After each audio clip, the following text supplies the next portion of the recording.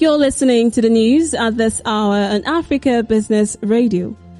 Tesla has become the world's most valuable car maker, overtaking Japan's Toyota after its stock hit a record high. Shares in the electric car maker touched $1,134 on Wednesday morning before falling back, leaving it with a market value of $209.47 billion. That is roughly $4 billion more than Toyota's current stock market value.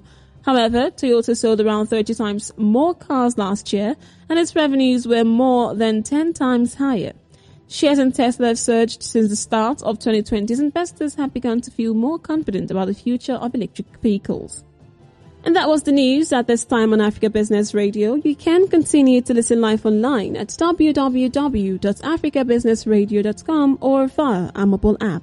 Thank you for listening.